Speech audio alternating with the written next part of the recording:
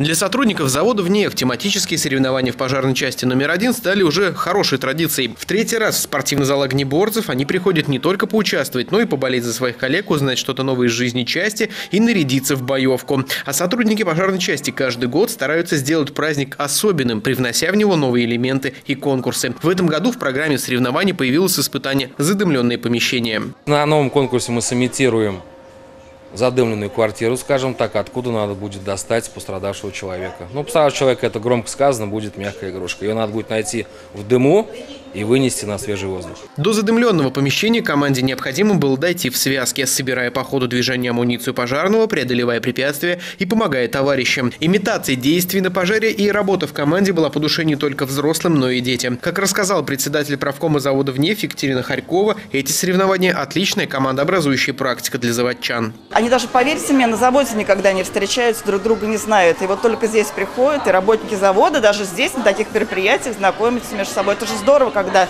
приходят с семьями, отдыхают вместе, веселятся, получают массу положительных эмоций. По правилам финального конкурса, в котором необходимо было найти пострадавшего в дыму, завершающий этап проходили только взрослые участники команды. В помещении капитаны попадали только с условием, что на них надет настоящий противогаз. Без него дышать в палатке нельзя.